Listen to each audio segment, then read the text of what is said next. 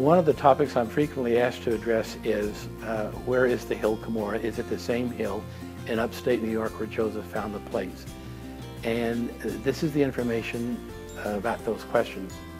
In the sixth chapter of Mormon, Mormon himself refers to the hill where he uh, is putting the plates at that time as Cumorah.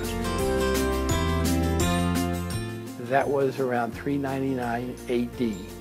So he deposited the plates there, and then later he retrieved them from the hill Cumorah. This is in 399, wrote to his son and told him he had to come get the plates.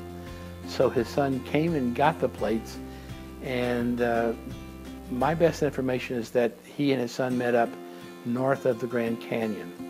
And then Moroni got the plates from his father.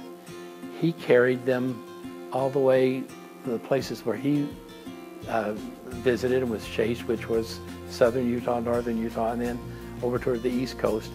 And then he buried the plates in the uh, upstate New York where Joseph Smith found them. But they were originally buried by his by uh, Moroni's father in 399. They were buried by Moroni in upstate New York in 421.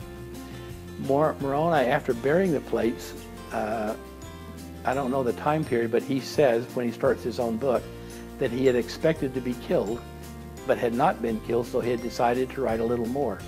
So he obviously returned to the place where he had deposited the plates, dug them up, and then added his book, which is essentially on the last, back of the last plate of the book of the plates, and then reburied them in upstate New York where Joseph Smith found them. So that hill where they were found was never called Cumorah by Mormon nor Moroni, nor did Joseph Smith ever call it the Hill of Cumorah. He referred to it as the hill in upstate New York. The first account we can discover of someone referring to that as the Hill Cumorah was Oliver Cowdery. This was after the death of the prophet Joseph, and for some reason Oliver thought that that was the Hill Cumorah, but Joseph never called it that.